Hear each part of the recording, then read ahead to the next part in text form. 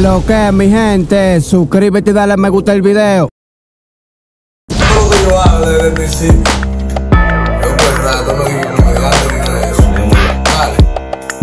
Lo que guagua.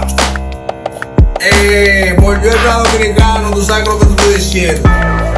Es como que dice, a ti nunca te la dieron, no, es que tú nunca la has tenido. Habla de cosas, pero tú no la has vivido. Entra a mi bloque para que siente. Nosotros paramos las 24 horas prendidos, no la dieron, no, es que tú nunca la has tenido.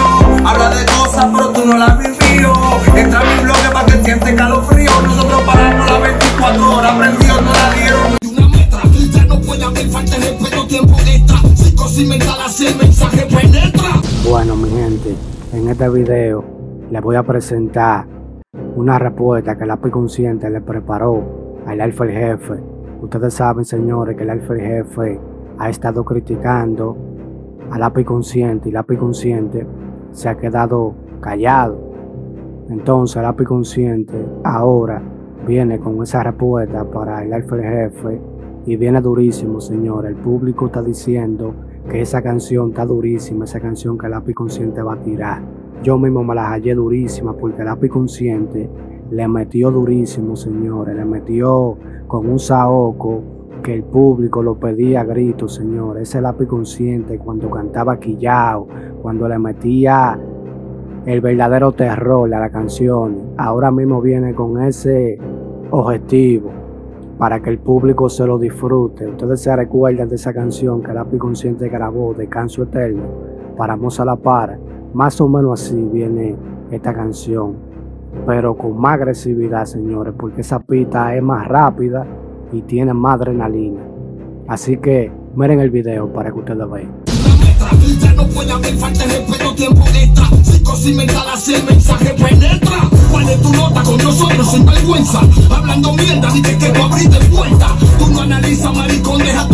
Lo único que abriste fue tu. Cabrón, despierta de ese sueño que. Que tú eres te ves, te ves chupando pene. El movimiento Duro, duro, pero duro, señores, este ese verso que el lápiz consciente le metió.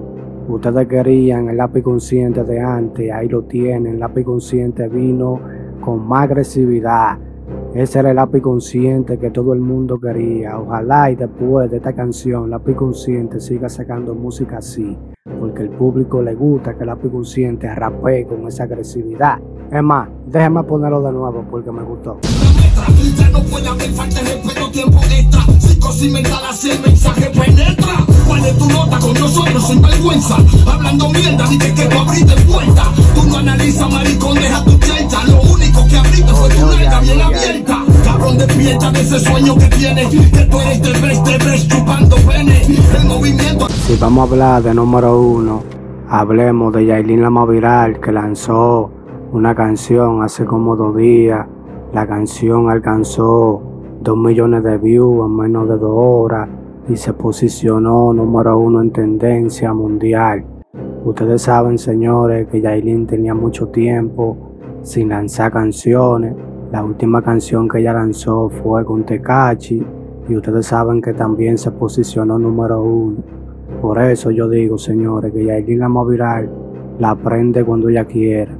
Yailin la aprende hasta con una publicación que haga en Instagram y ahora más con esta canción, porque Yailin ahora le está dando otro giro a su carrera musical.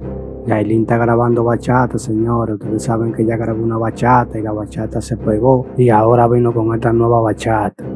El público se la halló bacana y más que presentó su hija. El mundo quería ver la hija de Anuel, la hija de ella. Entonces ahí Yailin la presentó. O sea, esa canción es como una, una canción para ella, para la hija de Yailin. Se pasó Yailin con esa canción, señores. Yo les invito a que pasen por el canal de YouTube de ella y ¿Qué, qué yo opino sobre el verso de lápiz consciente al alfa?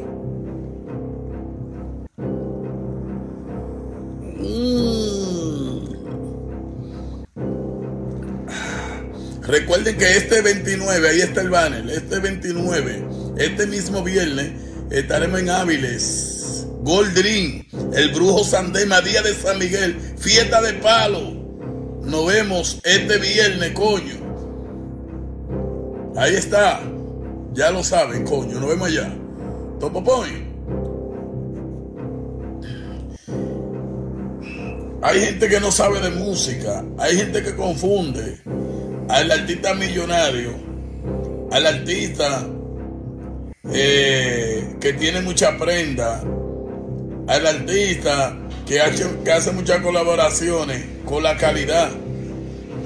¿Eh?